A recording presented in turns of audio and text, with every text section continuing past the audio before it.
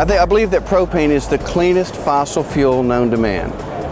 We really have great CO2 emissions benefits, NOx reduction benefits, and there's no methane in propane, unlike some of our other gas energy sources.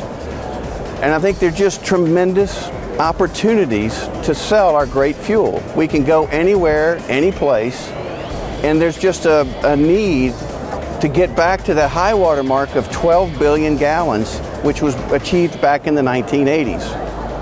There are ways to do it. We're down to just slightly more than 8 billion gallons, so we've lost a third of our business in 25 or 30 years. We have more customers. A lot of these things are due to efficiency improvements, tighter construction in homes, but water heaters is one of our greatest opportunities. There are 4.5 million existing propane customers.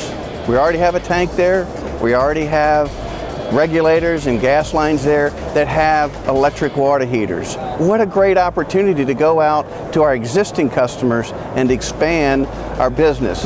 And the great thing about water heaters is it's year round. We have a very high ratio, three to one, of summer to winter gallons. We need to get that ratio leveled out a little bit. So water heaters is a tremendous opportunity, commercial and residential.